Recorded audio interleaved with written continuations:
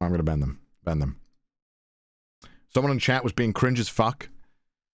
They were spamming that, uh, they've, they've been spamming the whole stream that the streamer they liked was better than another streamer in my chat. Not me, but it's just pathetic. Stop.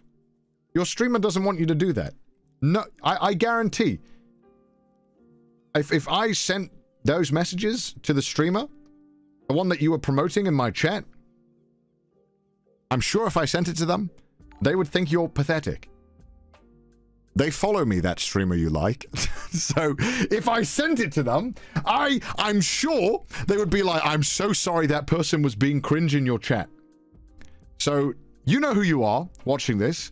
And to anyone else who thinks that it's funny to do that, it's not. It's just pathetic. Don't do it. Don't do it. Your, your favorite streamer doesn't want you to do that. They don't.